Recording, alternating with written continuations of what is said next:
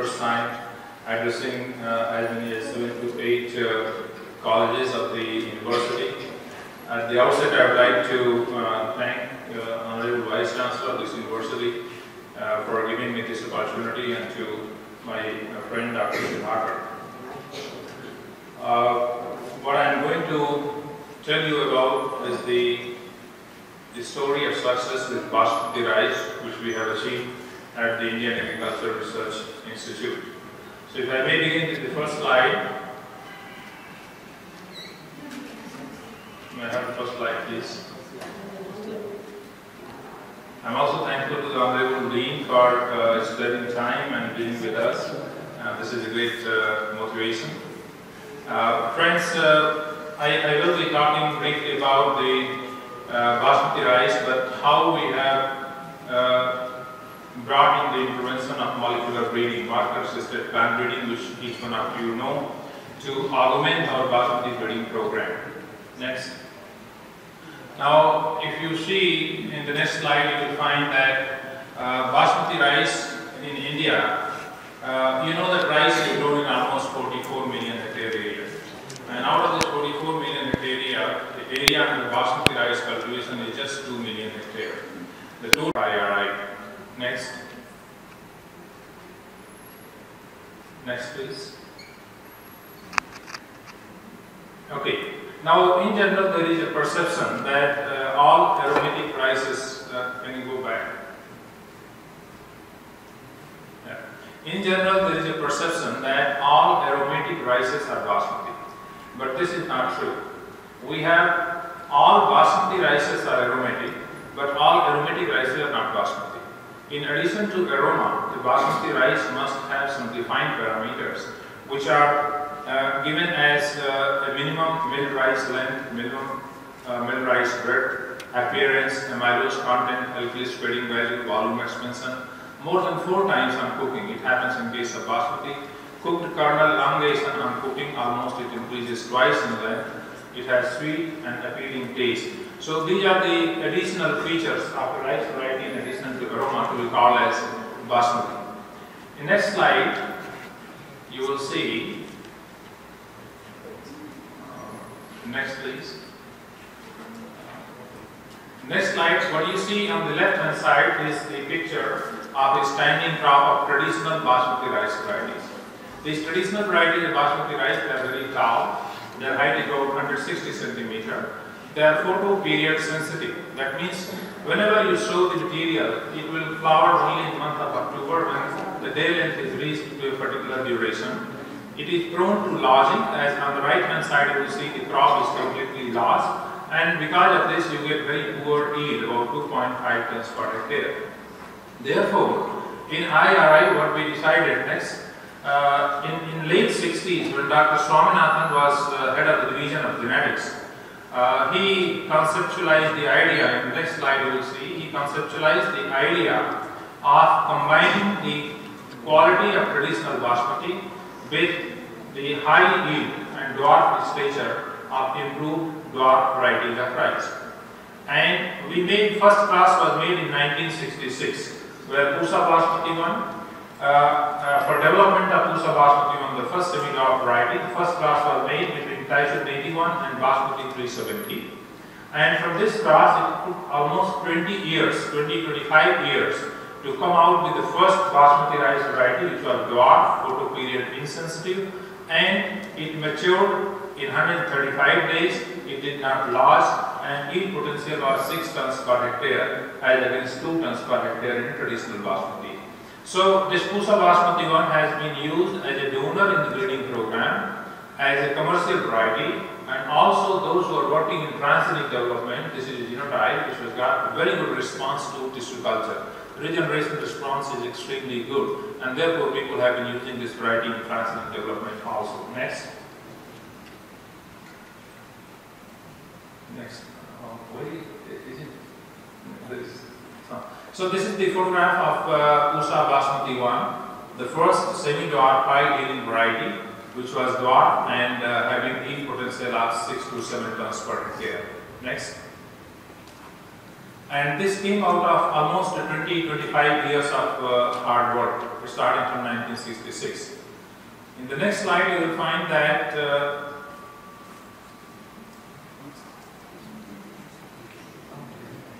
Okay, so we came out with another variety in 2003. Pusa Basmati 1 was released in 1989.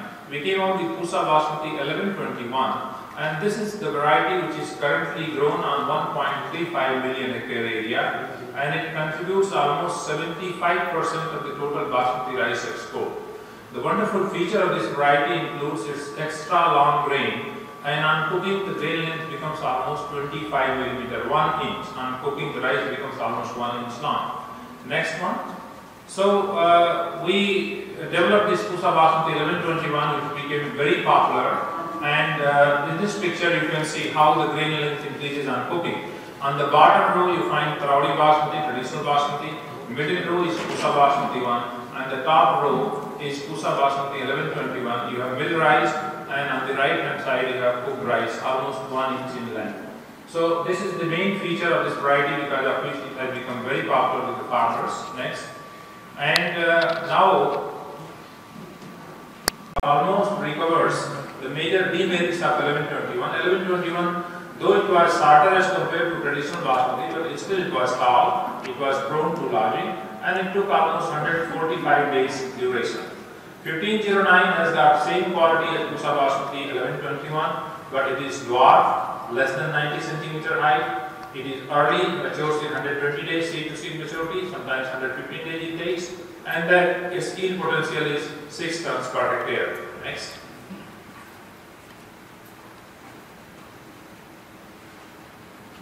So you can see here in this picture the grain of Pusa Basmati 1121 on the right hand side. The top is the mid rice and the bottom is cooked rice. On the left hand side you see Pusa Basmati 1509. The top uncooked rice, middle rice and the bottom is cooked rice. And you can see that the grain length of 1509 is as good as that of the Pusa Basmati 1121 but its grain shape is better on cooking. It almost has uniform shape throughout the length while 1121 is thicker on one side and thinner on other side it doesn't do a very good table look. But 1509 gives a wonderful table look. And I am getting feedback. Just now I got a phone call from Punjab. The farmers have sold after harvesting this crop season and have got the price of 3700 rupees per quintal of paddy. 3700 rupees per quintal of paddy. So this is a big uh, you know gain for the farmers with reduced duration. 5 to 6 irrigation can be reduced as compared to 1121. The higher yield and uh, one of the major problems in Punjab you find is days, Punjab and Haryana, that after harvesting paddy, people burn straw in the field. Because it is combined harvested and the straw is burned because immediately wheat crop has to be sown. So this results into a lot of pollution. Now this variety 1509 has got half the biomass that of 1121 and therefore the pollution also by burning is reduced uh, drastically. Next slide.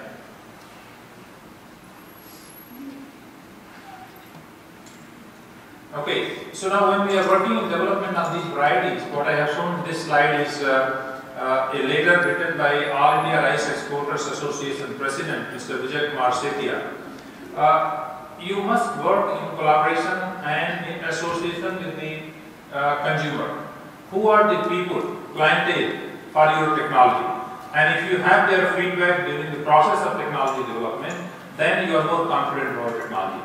So prior to release, Setia has written that this is this new variety is far superior than 1121. It can replace 1121 completely and its grain quality is better than 1121. Next.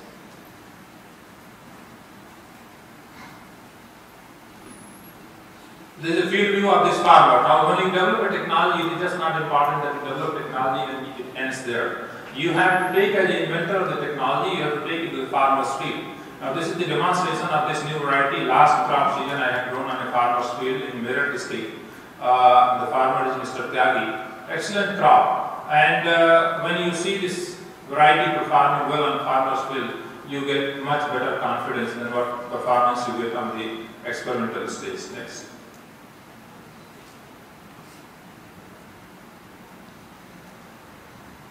Okay, so overall what has happened through our research that we have done at IARI, that in traditional basmati varieties, the duration used to be 160 days You see Taraori Basmati, the duration is 160 days.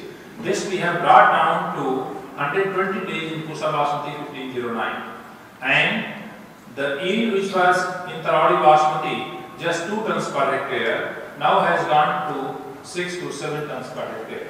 Now this is an unholy alliance. Generally we say variety with longer duration will have higher yield. But we have reduced duration and then simultaneously we have increased yield through recombination breeding by breaking undesirable linkages. So it has been possible to improve yield and duration, reduce duration and improve yield simultaneously. Next.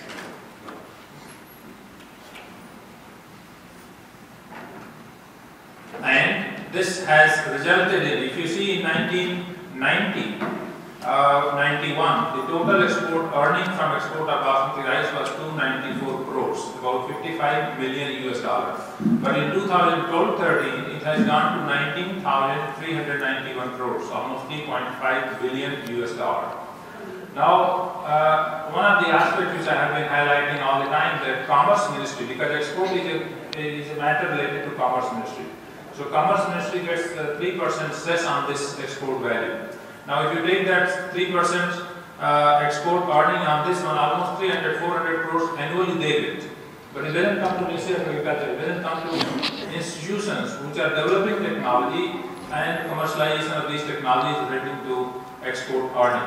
So we have been pleading with Ministry of Agriculture that we should approach Commerce Ministry also. Just give us 1%, half of this. We don't need any research grant from anybody. Whatever is being earned from our technology is sufficient to carry forward the research program. Next.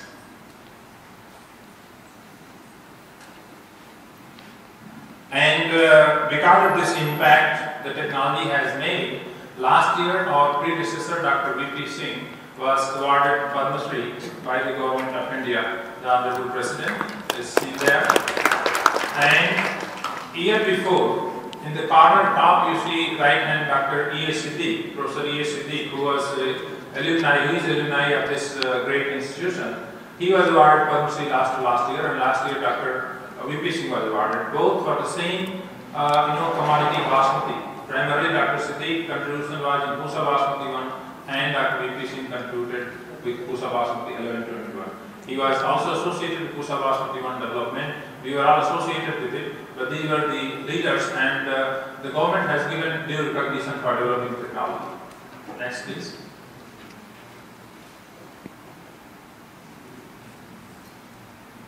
Now, there are so many challenges. The challenges are too many. And uh, in Basmati breeding program particularly, for example, this is a crop that you see is completely burnt by uh, attack of bacterial blight, a disease caused by Xanthomonas campestris, oryzae. Now this is sometimes so deadly that this farmer who had uh, taken on lease uh, about 25 acres land and the lease cost in Haryana, for example, these days is 35,000 rupees per acre. You have to take on lease from somebody, you have to pay 35,000 rupees per acre. And uh, this crop is completely finished because of bacterial leaf blight. He will not be able to harvest anything from this crop. He will have to simply put fire. Next. So this is one major challenge for the breeders to tackle. In the next slide, you will see that uh, another field of Pusa Basmati 1, which is uh, affected by neck blast. Neck blast is a very severe disease caused by Pyricularia oryzae and uh, the crop is bumper crop you can see, good stand, full of uh, panicles. But when this disease comes, all the panicles they dry at the neck and then there is nothing to harvest. So this is another major problem in basmati. Although it is problem in non-basmati also, but basmati is more uh, serious situation. Next.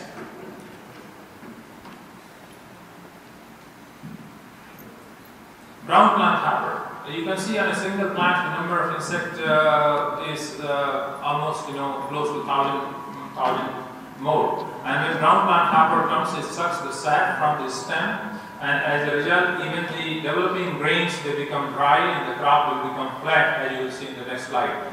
There will be nothing to harvest. So the same field at a little later stage, as you can see in the next slide, is affected by brown plant hopper. You see, long view, the entire crop is completely finished. There is nothing to harvest. Next slide. Now, these are the challenges, particularly biotic stresses. Likewise, we have got several abiotic stresses, which include drought, submersion, salinity. These are the three major abiotic stresses in rice which create a lot of problems. So, what is the fortunate situation is that for each of these problems which I have just mentioned, bacterial blight there are 37 genes known. For blast we know 103 genes and 345 QTLs have been identified so far. For brown plant hopper almost 23 genes are known and we have for seed blight certain QTLs identified. Now, in spite of the fact that these many genetic resources are available within rice, we need not to go to bring these from other species. They are in rice varieties. Only thing is that they are not present in the basmati variety, they are present in non-basmati sources.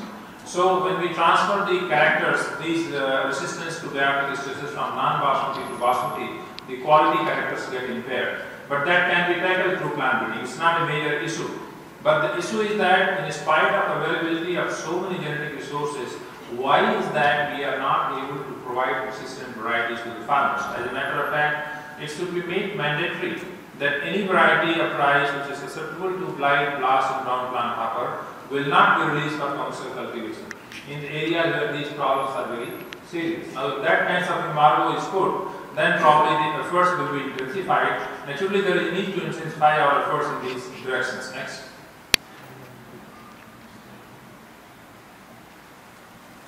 Using these landmarks, you can uh, trace the Okay, uh, all right. So what we did, you know, first we started with bacterial blight. We took uh, recurrent parent, the parent which is used again and again. Backcross method of breeding, you all know, is used those situations where we have a otherwise very good variety, but it lacks in one or two characters, which can be improved by using a donor parent which has got those traits in very high intensity, but it doesn't have other desirable characters.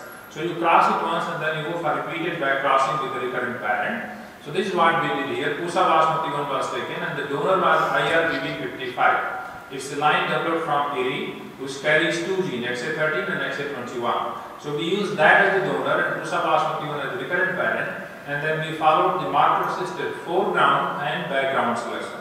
These are the two important components in marker assisted breeding. Foreground selection refers to the selection for the trait under transfer. For example, in this case, we are transferring bacterial blight resistant genes XA13 and XA21. So selection for XA13 and XA21 is called foreground selection. And background selection is selection for recurrent parent genome. What we want ultimately is Pusa basmati 1 in all characters, but with resistance to bacterial blight.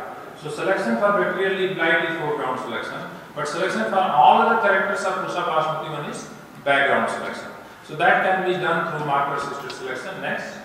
And then we followed this approach, uh, foreground and background selection to, uh, in the top slide you can see for XA21 gene, the band present on the upper side and the lower side, these are the two which differentiate the resistant and susceptible plants. And then in the second case, XA13 foreground marker is RG136 and the all plants they show heterozygous pattern the susceptible plant has got a single band of 950 base pair, the first lane on the left hand side. And the right hand side, all plants are persistent plant. Next. So this one also combined with the background selection. Background selection can be practiced again using molecular markers. The markers which are polymorphic between donor and recurrent parent. And when you select this segregating progeny, you select those plants which have got the allele of recurrent parent at this marker loci. So this way it is a method by which you can accelerate the backcross breeding program. Generally it takes about 6 to 7 backcrosses to recover the recurrent parent but using marker assisted background selection you can reduce the number of backcrosses to 2. Even in 2 backcrosses you can reconstitute the recurrent parent genome. Okay? All students are here. I, if I can put a question in BC1F1 what is the recurrent parent genome percentage? In backcross 1? 75%. Now, if I have 100 plant in BC1F1, 100 plant in BC1F1, all these plants will have 75% genome of recurrent parent?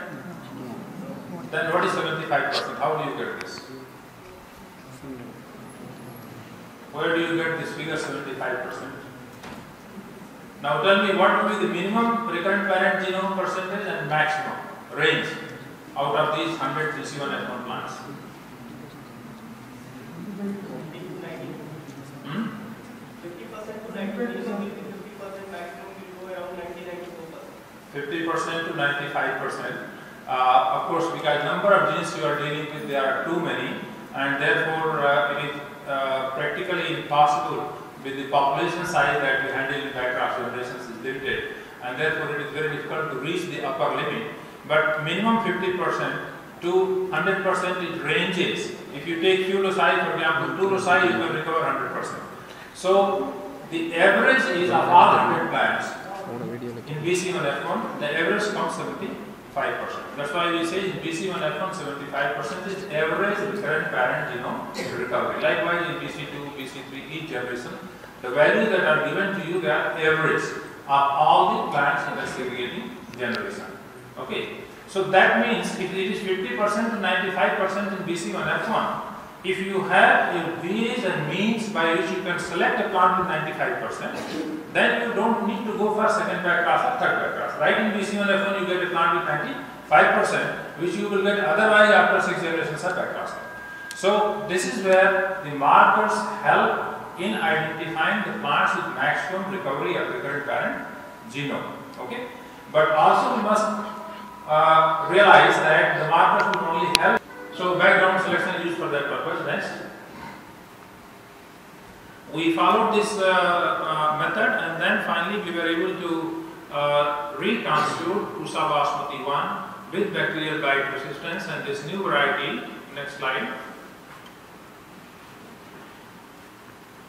The new variety, uh, you see the top one in this dendrogram is Pusa basmati 1 and just below is one of the lines which was later released as a variety. Next, next slide. We release this next variety as improved Pusa basmati 1. In this slide, this slide, let me see, going back.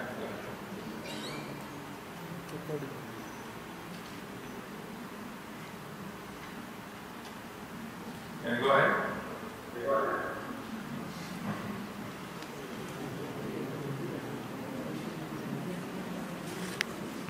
Looks like full of just like Pusa basmati one, and it has got resistance to bacterial blight. Next slide.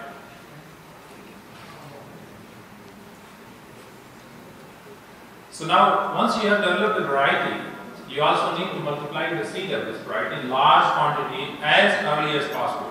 So within first year of release, we went to farmer's field and in a program called uh, Mega Seed Project, Mega Seed Project, where we hired a lot of land from farmers, 200, 300 acres, and produced the seed of this variety and farmers in farmers participatory seed production program. And uh, we monitor these seed, seed production plants every time at appropriate stage, and then seeds were multiplied and then supplied to the farmers. Next. And uh, the next slide you will see a farmer growing the uh, crop of uh, Pusa, improved Pusa basmati 1 and this farmer is empowered to fight bacterial blight. So within a year of release we were able to cover large part of Haryana and Punjab state where this variety is grown. Next.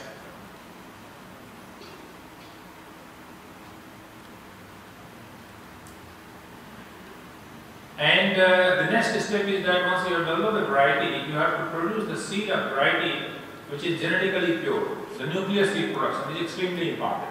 Because here, the value of this variety is because of those two characters that you provided, bacterial blight resistance, two genes. So you must ensure that in your nucleus seed production plot, everything is fine. The gene that you have incorporated in the variety is present. You need to verify. It should be present. You need to verify with markers also in the nucleus seed production plot at least so that at later stage no mishap happen because uh, you know in the first year what happened in the seed of this variety was less in the market. Many traders they started selling Pusa Basmati 1 in the name of improved Pusa Basmati 300 rupees a kg, 400 rupees a kg and the farmers purchased it. When they grew they could not differentiate because these are isogenic lines. They are similar in all respect except for one trait that is bacterial blight and that can be seen only when the disease comes. If disease doesn't come then you cannot see the difference. So many traders they were able to make a lot of money sold Pusa Basmati 1 in the name of improved Pusa Basmati 1. Since we have marker for both the genes, And if we suspected somebody, we could collect the leaf sample from his reproduction plot or take the lot of seeds from his packet and then analyze and tell whether the gene is present or not. And such persons can be penalized immediately. So all those course of actions have to be put in place by the investigator. Next. Or by a mechanism which institutions develop. So this is what uh, we verify the presence of both the genes and also verify the coding characters that they are intact. Next.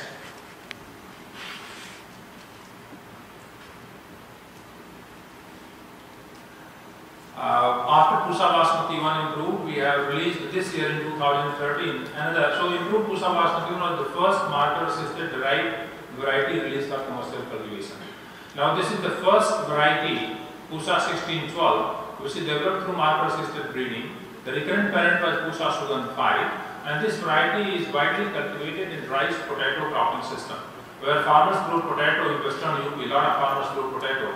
So they grow this variety which matures in 125 days and after harvesting this variety they grow for potatoes. This is also a basmati variety which we have improved for assistance to blast disease by incorporating gene PI54 and PIZ5. So these two genes have been incorporated and now for your information we have a separate trial for testing the MAS derived varieties where the testing of the variety is limited only to two years. Normally you have to test the variety for three years. Initial varietal trial, advanced varietal trial 1, advanced varietal trial 2. But in this case you have to have only two years of testing because the variety is similar to recurrent parent which is already released and adopted. Only you are verifying the trait that you have incorporated and therefore with two years of testing these varieties can be commercialized. So this was released after two years of testing and this is the first NIL variety uh, ever released for commercial cultivation in any crop. Next.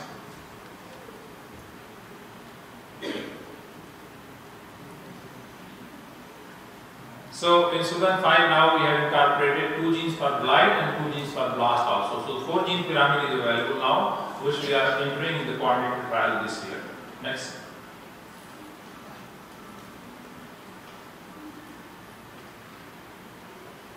Now there is uh, a strategy what we call marker assisted simultaneous but stepwise by crossbreeding, mass breeding. Uh, this is adapted, you see, as I mentioned to you in the beginning that most of the genes for resistance to biotic and abiotic stresses, they are present in non-basmati background, they are not present in basmati background.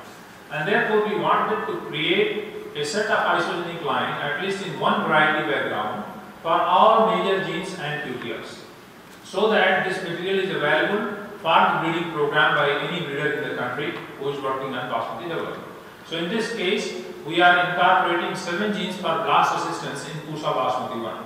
And this strategy is called marker assisted simultaneous but stepwise. So what you do in this case is that you take recurrent parent cross with donor 1, recurrent parent cross with donor 2, recurrent parent cross with donor 3 and then you have three parallel backcross breeding program. After two backcrosses, then you intercross this material to bring all the four genes, five genes together. So this is what we have adopted and now in case of 1 next. We have got uh, isogenic lines carrying one gene, two genes, three genes, four genes and up to seven gene pyramids where marker assisted foreground selection has been used next and also the background selection for recovery of recurrent parent genome. These techniques are common techniques uh, which are applied in any backcross breeding program. But what you can see here in addition to marker assisted selection for foreground and background, the phenotypic selection is extremely important. You see here on the top you have got the donor line, in the second row you have got Pusa basmati 1, recurrent parent.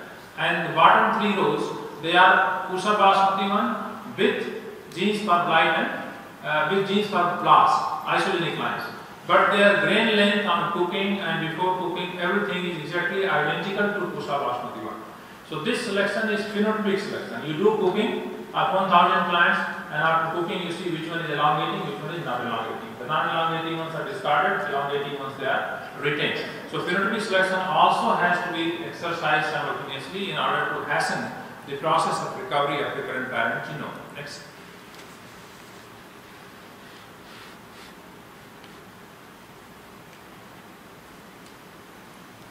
So this is one character in rice that we study is called gel consistency.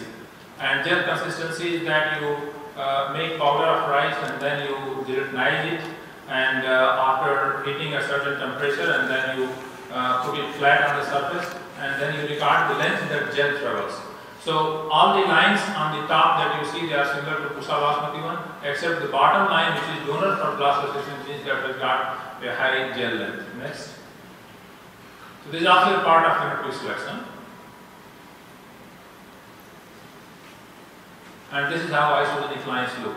In the center two rows that you see where Pusa Basmati one is written, that is the Pusa Basmati one. And the flanking rows are isogenic lines. Now you can see the whole length you see in terms of height, in terms of maturity, in terms of all other attributes, they are exactly identical. Are, there is no difference except that they have got resistance to blast. Next.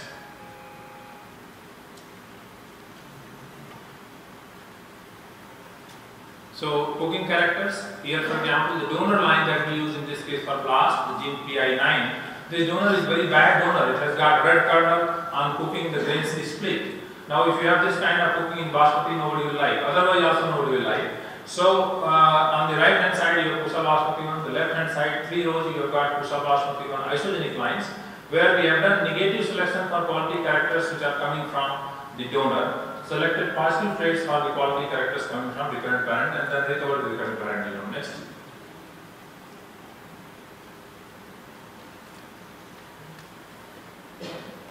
And uh, after these lines have been uh, developed, we have put them in the Uniform Blast Nursery, UBN. Uniform Blast Nursery is conducted on the hot spot location. So we have several hot spot locations, where naturally blast comes in a big way. So you can see you know, in the, that long bed, you can see there are many lines in between, they are completely, they are finished, they have infected rows, and then other susceptible lines have died, only those which are resistant, they are surviving. So you got Pusa Basmati on the top right, and on the top left, we have Pusa Basmati near isogenic lines, uniform blast nursery, they have uh, no damage, while Pusa Basmati one is uh, damaged completely.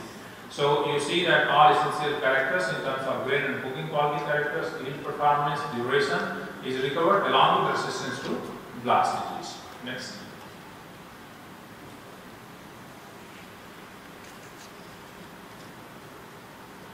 So likewise we had uh, two more varieties, Pusa Basmati 1121 and Pusa Basmati 6, uh, which are again very popular varieties and these we have improved for bacterial blight, blast and brown plant hopper three problems.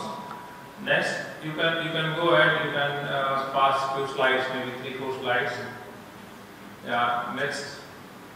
Because essentially the procedure in each cases remains the same. What is given here is the genes and the markers which are used and the number of plants by transliteration that are available. Next.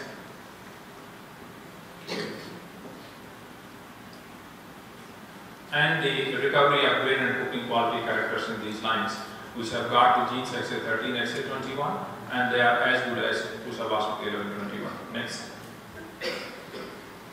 Next. Next.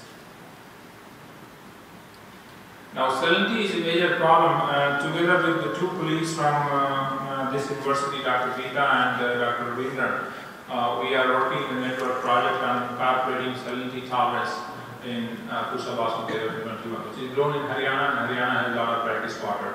So, a, a major QTL for salinity tolerance called Saltol has been uh, you know, identified from land race from Kerala called Pokkali and this QTL for Salka we have transferred to marker assisted backcross breeding in Pusa Basmati 1121. Next. Essentially, the procedure for this also remains the same marker assisted foreground selection, background selection. You see Pusa Basmati 1 uh, grain uh, before cooking and after cooking, and this uh, occupies substantial area which suffers from salinity. Next. We can quickly go to the next slide. Next, same approach of marker assisted backcross breeding.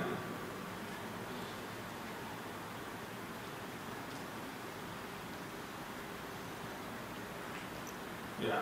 So this is, uh, you know, the the graphical genotyping of the lines, backcross derived lines which have been developed, and they have got recovery of uh, recurrent parental 21 to the extent of 98%, 96%, and so on. Next.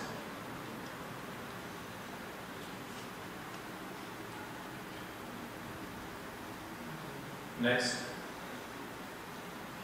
And so these lines we evaluated uh, also at uh, Rishi, Dr. Was involved in evaluation and we could see that some of these lines they stood the field salinity level uh, at Trichy, which is a, again, uh, mm, the ideal location for screening material for salinity stress tolerance.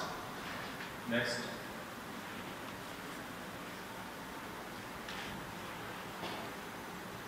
So this is the view of the uh, backcross derived lines uh, with salinity tolerance level given background. Next.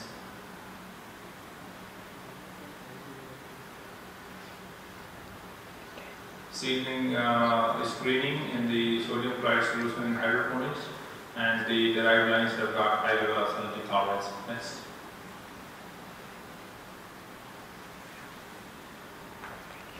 So this uh, is growing at Krishi FL478 in the middle and then PUSA 1734, one of the backcross derived lines of 1121 at Krishi. Next.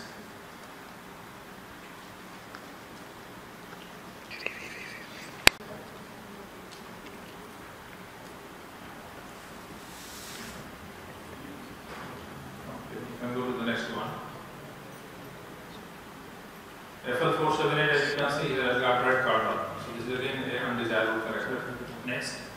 Likewise, we have a very strong hybrid breeding program in basmati rice and we have developed a hybrid Pusa RH10 in 2001, the first basmati quality hybrid. But this uh, over period of time we can susceptible to insect pest and diseases, particularly blight. So we improved this also following one assisted by crop breeding. The next slide you will see uh, that uh, we were able to improve this for resistance to bacterial leaf blight the markers and the list of genes and donors. Next.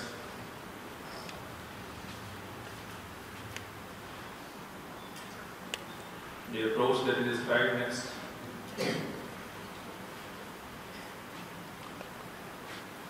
I, I, I can, I think some of these uh, publications which we have made on this is paper in molecular breeding and marker assisted improvement of bacterial blight resistance uh, in current lines of Usar resistance. Next slide.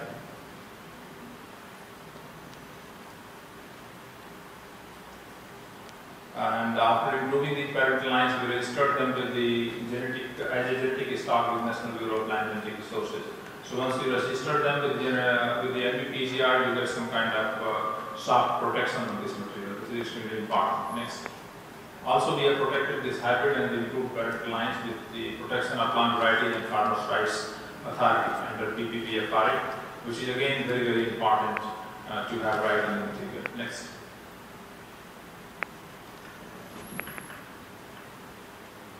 This paper in field crop uh, research and registration of the material. This is improvement of same parent PR78, male parent of Bushara for blast resistance. Next.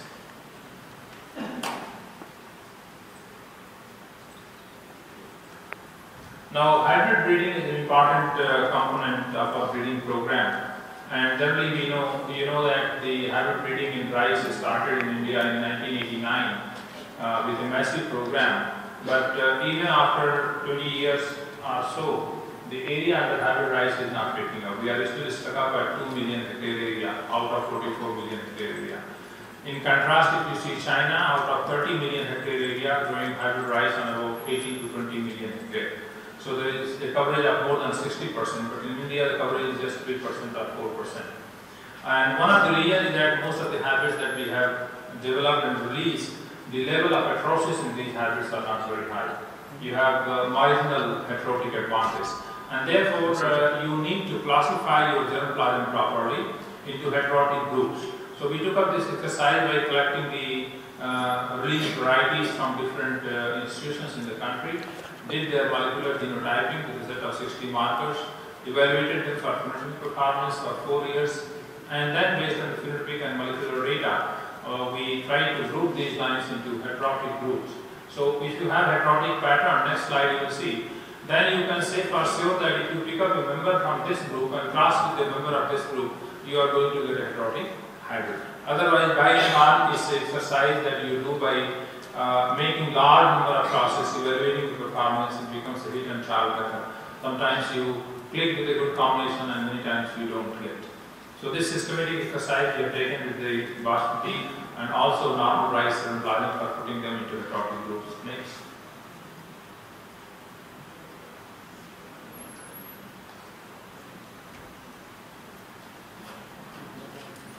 So this heterosis uh, overall genetic diversity is not uh, uh, only important. Uh, also what is important is that when you are producing a hybrid, you have the male and female parent in a uh, limited duration of flowering. There must be synchronization of flowering. And therefore, what is the kind of diversity you have in material within same flowering group, within early group, within mid early group, within medium group, within late group. And we did that exercise also based on duration these lines were classified. And we could see that there is sufficient genetic diversity within group available for exploitation of heterosis. Next.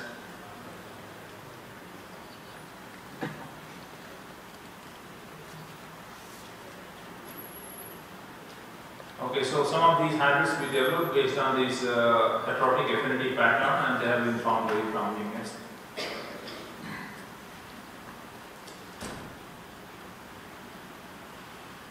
Go to the next one. We try to map the genes or the QTS that are involved in expression of quality traits. Now this is one very contrasting character. On the left hand side you find a land race called Sonasal. This is a short grain aromatic land race and on the right hand side you have Pusa Basmati 1121. You can see the difference in the grain size, length of grain. And on cooking also you can see the difference is very very obvious. So we crossed these two lines and generated a recombinant underlying population, RIL population, and used that RIL population for mapping QTLs for grain length. And we were able to identify major QTLs explaining about 70% of total phenotypic variation from this population. Next. So once we know that this is the marker linked with the gene of interest, then using marker selection we can mobilize these QTLs into desired lines. Next. Next. Is the variation in recombinant line population from Sonasal to extreme uh, right bottom 1121 and the ridge in between shown that they have a range of variation that is between the two parental extremes. Next. In this case, you don't see transgressive segregation beyond parental limits, shorter than Sonasal and longer than 1121. And this is so because most of the desirable and undesirable genes they are present in the extreme genotypes and therefore you don't find the uh, uh, segregation uh, beyond the parental limit. So genotyping are two plants next for mapping purpose and then identification of QTLs.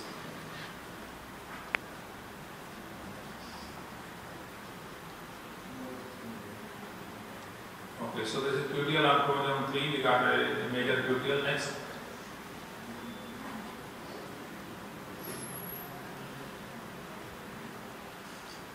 Okay, next. We were also able to identify a major deletion in this region of Sonasal versus 1121. So Sonasal was carrying this major deletion which is typical to start with aromatic rices from India. So this is a novel finding which we have uh, now sent to paper for. Next.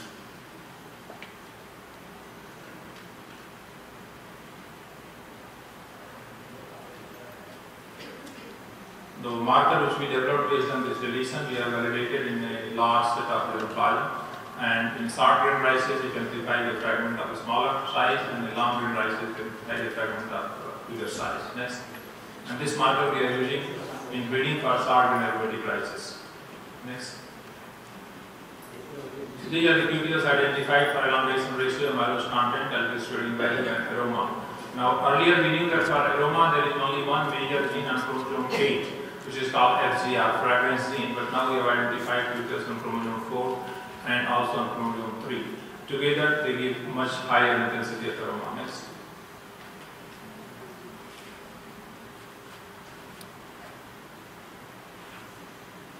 So this is a marker which is linked with this fragrance gene.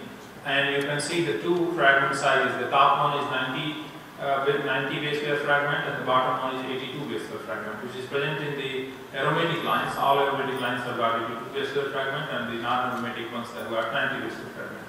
So using this you can identify a plant at seedling stage that this is aromatic or non-aromatic.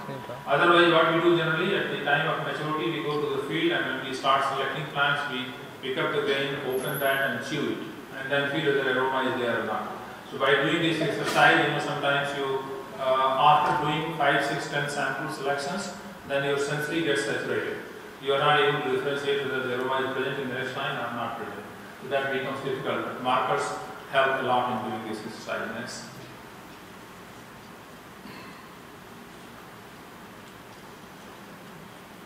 So this is also published in molecular breeding next.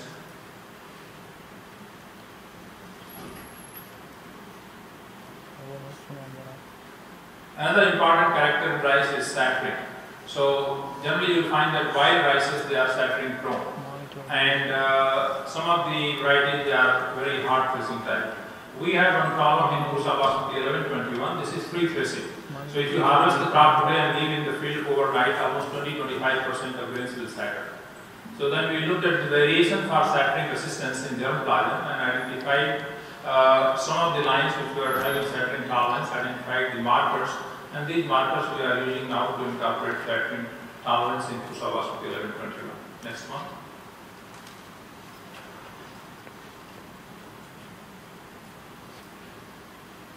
So this is the uh, description of the different uh, exons and introns of this particular gene. It's QTL for scattering resistance, PSH1 and chromosome 1.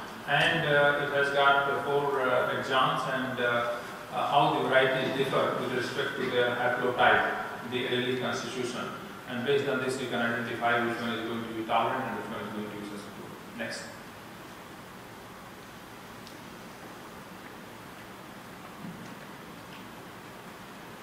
Okay, likewise, uh, PUP1 is a gene which has been recently cloned.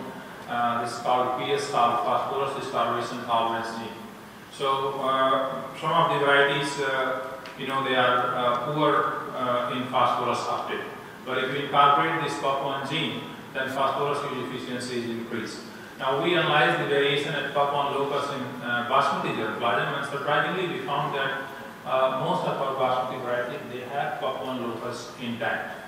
And therefore, uh, now we are trying to do experimentation with different level of phosphorus application to see that if they are doing uh, better even at the low level of phosphorus availability in the soil. Next.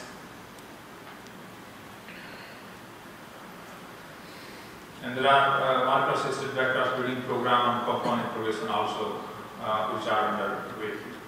Then we have mapped the uh, genes for yield and yield-related components using recombinant underlying population. You can go on clicking because uh, I, I can match the, the screen, no issue. So here we had the recombinant underlines uh, developed from uh, uh, a new plant type material crossed with Jaya, and you can see the kind of variation that happens for grain number, almost 700, 800 grains per panicle. And this population we use for mapping genes per grain number and other yield component in next slide. Uh, the RIL population showed uh, sort of continuous variation and uh, we were able to identify almost 51 novel QTL. This is the view of the RIL population. The two arrows indicate the position of parental lines in terms of molecular uh, uh, profile. And then uh, you can see that the all 300 rings they make a concentric ring, indicating thereby that there has been a complete reshuffling of genome through multiple cycle of meiosis. The rings have advantage that they are produced through multiple cycle of meiosis and therefore they have extensive recombination and you get this kind of picture. So it's ideal population for mapping QTL. Next. So several QTLs were identified in this case and 51 QTLs were now reported for the first time uh, out of 128. Next.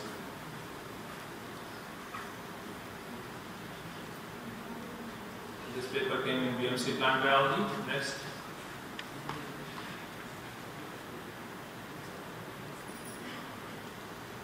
Another disease that we are facing problem with in, in North India is Bakanae.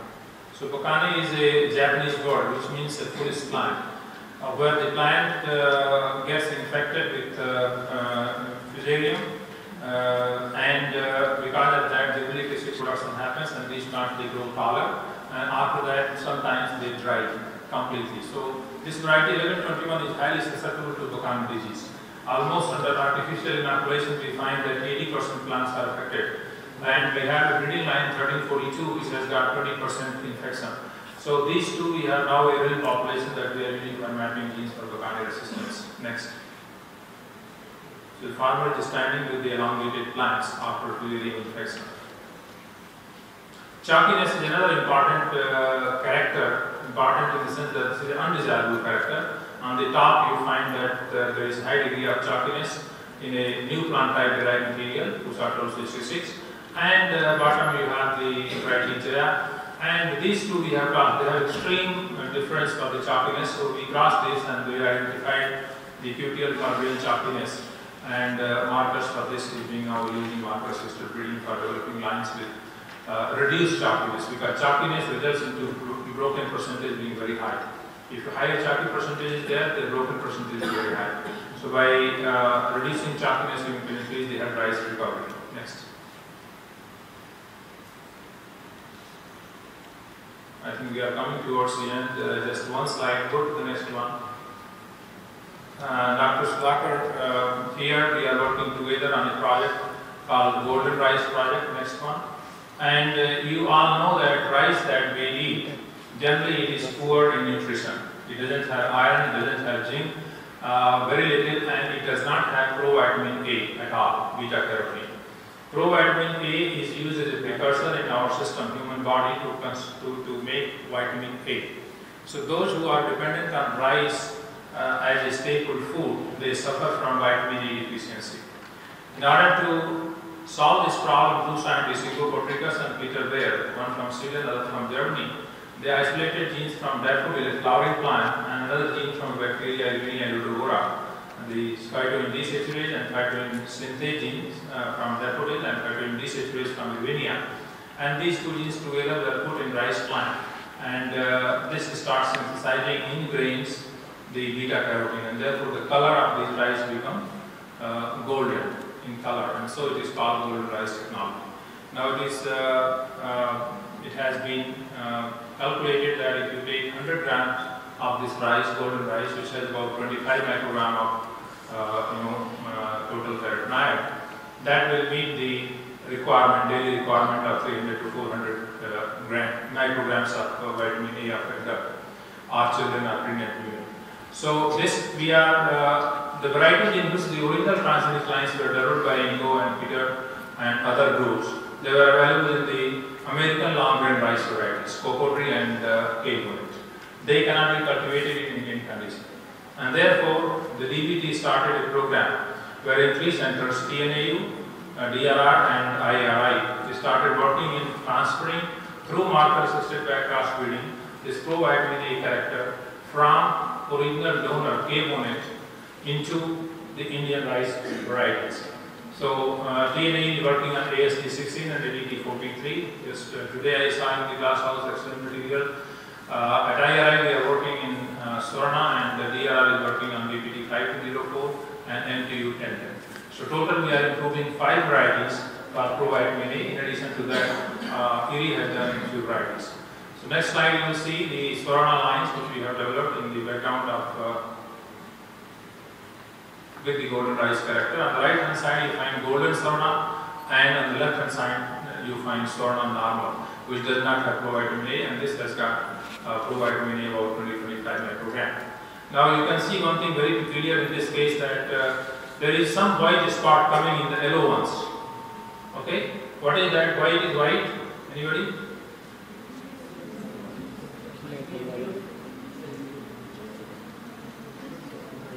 So that portion is embryo, and this gene is expressed in endosperm specific promoter. You can see how precise expression is. The embryo is looking white, and the rest portion is yellow because of beta carotene expression. Next. I think this would be the last one. Still good, let's go. Next one. Marker assisted backcross breeding now has become a integral part of plant breeding program at many places.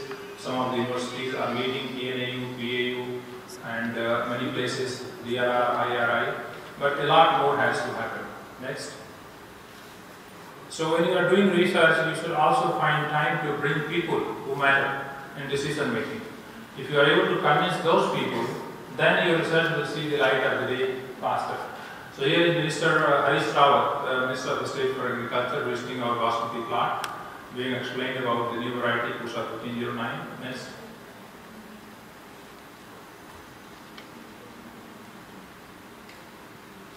Dr. Swaminathan, Dr. Paroda, and uh, some leader from BJP party. On the right hand bottom side, Dr. S. A. Patil, former director IARI, is one of the member of parliament from Karnataka. Next.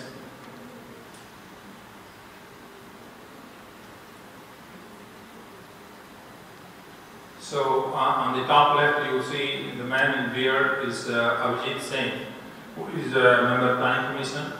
And then right side, uh, right side is uh, Mr. Basu, Secretary of Agriculture, Government of India, DG ICAR on the left bottom, and DDG, Science, Dr. Datta. Next.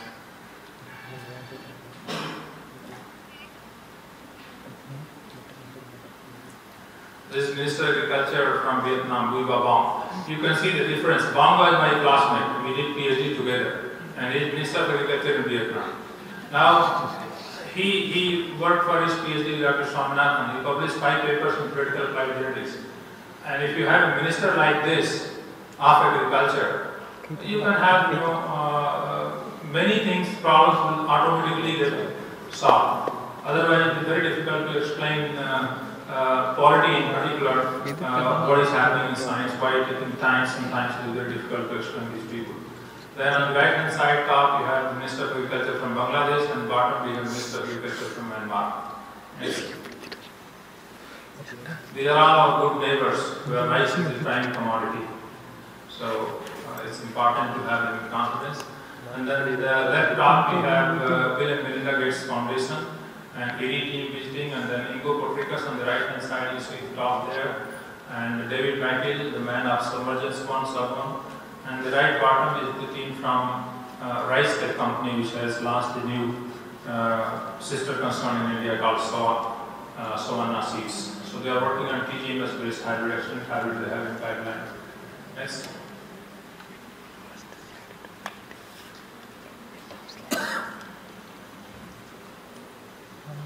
Dr. Kos, Professor ESCD, Deepak Pental, former Vice Chancellor, Delhi University. So, e- many times you have to make efforts to bring these people. It doesn't happen automatically. So, you have to be after them. And uh, whenever there is opportunity, if you once, twice, thrice, four times, if you are after them, sometimes they will find time. Otherwise, these are very busy people to find time to come and see you. Next.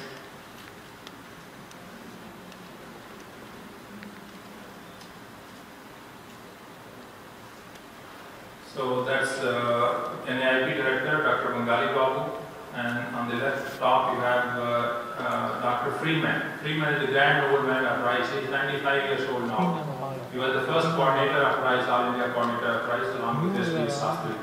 And even at the age of 95, last year he came, 96 now, he doesn't mind walking on the buns with help of the sleep. That's the kind of commitment that you have, attachment with the crop that you have with these people. Traveling from US, uh, 20 hours long uh, flight, you know, and such a tall person of six and a half feet height. It is not uh, easy job to lift the body and put in plane. But, but that's the commitment. And when you have will, there is a way.